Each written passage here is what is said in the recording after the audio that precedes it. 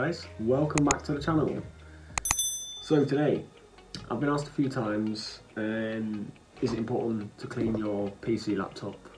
And if so, how, how do you clean it properly? Uh, I'm not just talking about wiping it down on the outside, I'm talking about internally as well. So today I'm going to go through both sides of that, um, just to show you guys how I do it. Um, I've got a friend who works at like a, a repair shop and I, I, reached out to him and said, look, how often do you think it's worthwhile cleaning your PC or laptop? Uh, and he recommends once every six months. So my laptop is about that age, so I'm gonna clean on the outside, show you guys how to do that, and then I'm gonna take the back cover off and see what it looks like on the inside. I mean, specifically, we're going to be looking at fans because that's the most important thing we want to keep clean and free of dust and stuff. So we'll uh, we'll take that off, have a look, and we'll go from there. Okay, so when it comes to just cleaning the outside, I just use these little wipes, just computer wipes.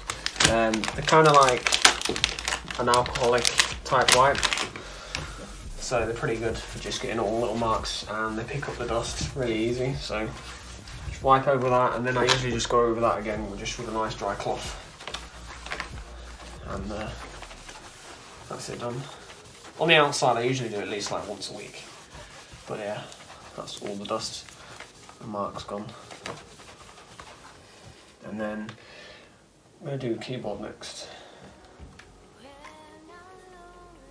Now best thing you should do really is just turn everything off before you clean it.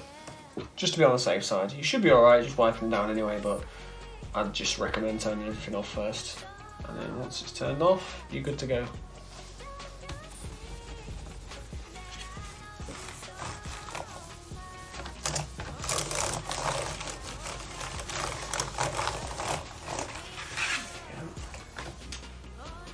Has picked up quite a bit of dust.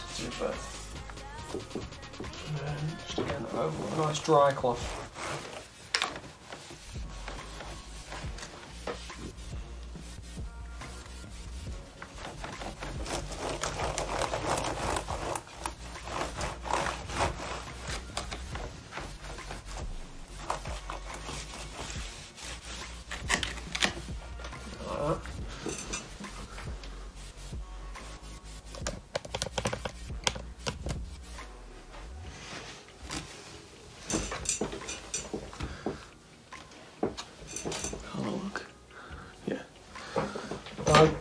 You can go over it again with the screen, but just when you do the screen, just be very gentle. You don't want to push too hard.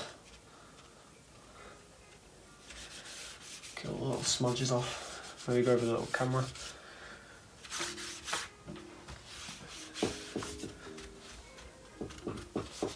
That'll do. And then gently with dry cloth again.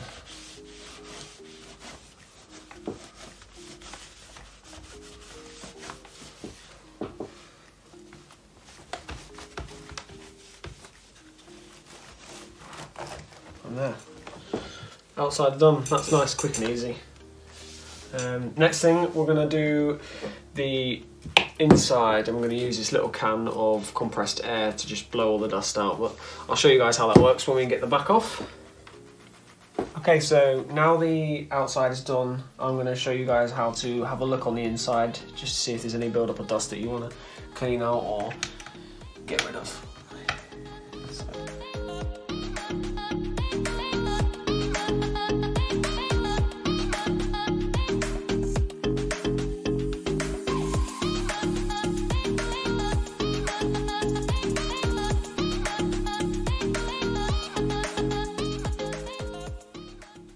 Okay, so pretty much got the cover off. And first thing you really want to look at is the fans. Now, this laptop's only about six months old and you can see that it's got a fair bit of dust build up in both of the fans.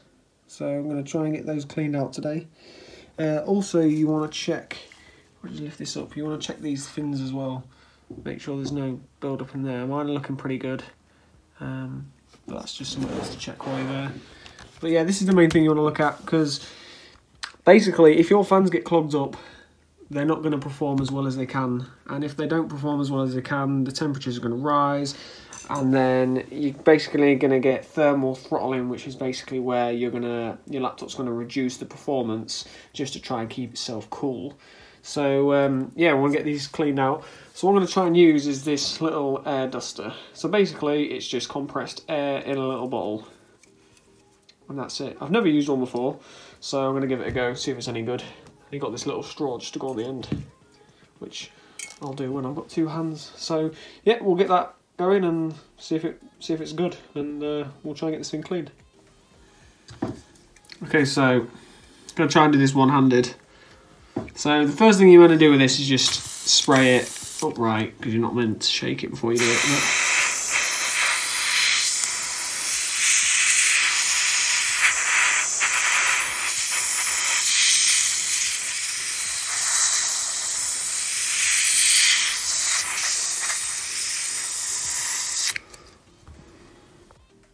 So other thing what you want to do is try and blow out these little vents.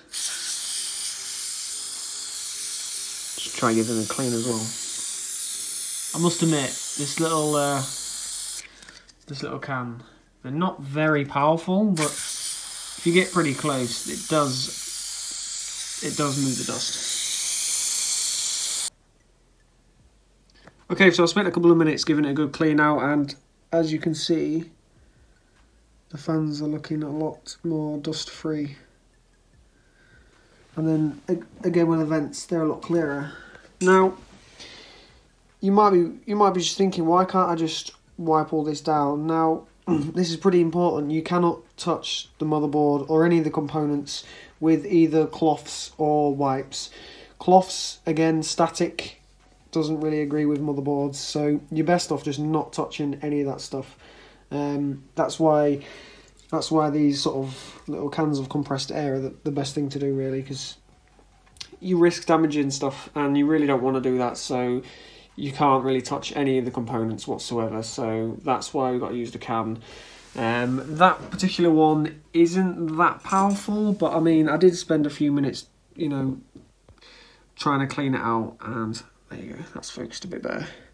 And as we see there's a lot less dust in there. Now, this was just after six months, so just imagine. There we go. Just imagine what it would be like, you know, a couple of years without any cleaning. And in fact, I have actually got a PC tower. Just it's an empty one, but it's got the fans in it, sat in my back cupboard. So I'll just grab that and show you what what they can look like. Right, so this is the old PC case I've got. So you'll get my point. Look at this fan, all that dust on there. So this is what happens after a long time, all the build up of dust. And just, I don't even know what that is, but yeah. So all this dust just slows down the airflow. And if you've only got a couple of fans cooling your PC and they're as clogged up as that with dust, they're really going to reduce the airflow and things can get hot and you lose performance. Like on the back here, this is a different type of. So this is a removable filter, so you can actually slide these up. So if you've got a PC, this might be what you've got on yours. So it's okay. Again, this is hard to do with one hand. There you go. So it's good that you can take these up, so you can clean that out, and then obviously look behind it. Lovely. So yeah, it is important to clean your PC, your laptop, um, I'm not even going to bother cleaning this because it's just going to go back in a dusty cupboard, but you guys get my point. Okay, so that's going to be about it for this video. Um, I hope it's helped some of you guys out. Um, just make sure when you're taking the back off that it's turned off and that you try your best not to touch any of the components. Um, I don't want you guys damaging your PCs, laptops when you don't have to, so just be careful with that sort of stuff. Um, the, the, front and the back there easy enough. You don't have to worry too much about that. So just be careful if you're doing that. And um, yeah, that's going to be about it for this video. Um, hope you guys have enjoyed it. Uh, like I always say, look after yourselves, and I will see you in the next video.